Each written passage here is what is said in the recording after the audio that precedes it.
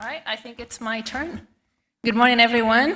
I am Paola Passalacqua. I'm the chair of the steering committee of CSDMS. And I welcome you to this CSDMS 2024 meeting.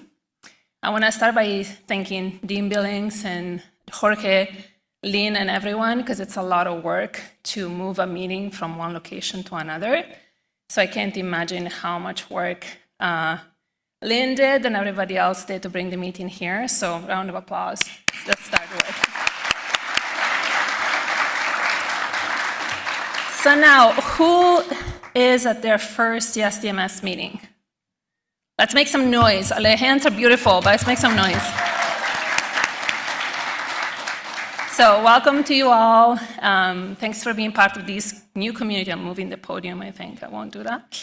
Um, so CSDMS, as you know, changes topic every year, although we they're all pretty related. And this year you see it here, so it's coastlines, critical zones, and cascading hazards. So there's a lot of work now being done on cascading events and compound flooding and things like that. And I think what's particularly intriguing here is the term interface, because I feel like for a community like us, and most of us are modelers, not necessarily everybody, but probably the majority are modelers, the concept of interface is a really cool one because that's really points and location where things come together, meet, and interact. But if I think about a lot of the modeling that I have done in the past, you often stop at the interface, right? You're doing land to coast, coast to ocean, and then that interface is not an interface, it's actually a point where you set boundary conditions.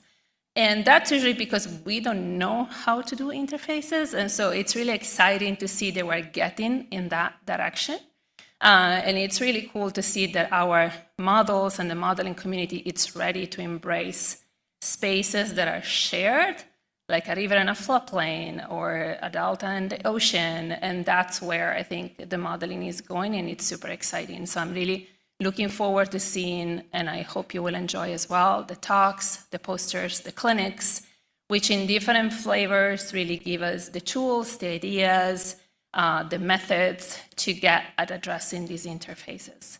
Now, before I get out of here, uh, and before I introduce Greg, I also want to remind you all that CSDMS, that first C, so the beginning of CSDMS stands for community.